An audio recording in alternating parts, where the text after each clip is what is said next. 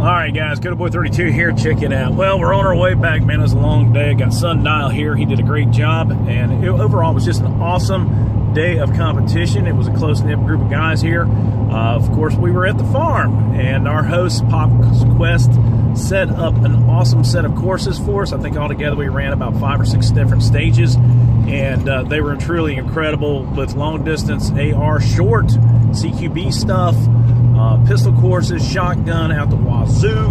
But anyway, I'm going to show you uh, one of the videos from one of my favorite runs. I'm actually driving Mel's truck right now.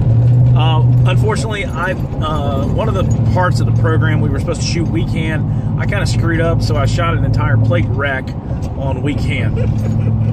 Anywho, here's the uh, little video and a sneak peek of what uh, you guys get to enjoy this week. If you like the video, give it a thumbs up. It's always a joy to have you guys on board and seeing us having fun. Let's go to Boy 32. Here we go. Is now? Okay. Fucking smartphones. All right. Understand course fire? Run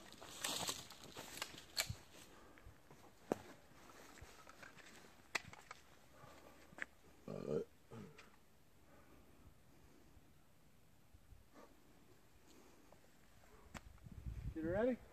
Stand by.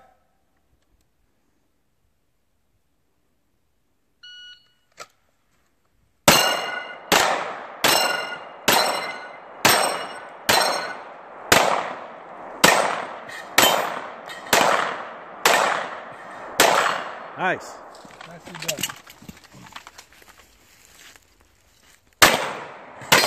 Oh, fucker.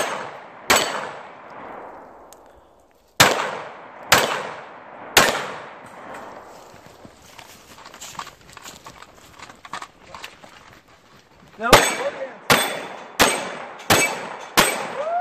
Oh, Damn. Made up for that shit. Yeah, you did. And then some. That's some. All right, now pull this shit off. You got this.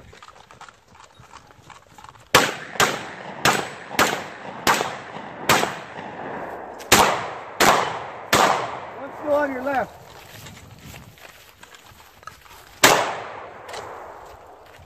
One on your left. Really nicely.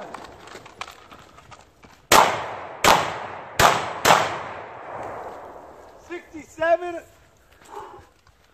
Eleven. Yeah. Thank you. Smoked it. Thank you very much.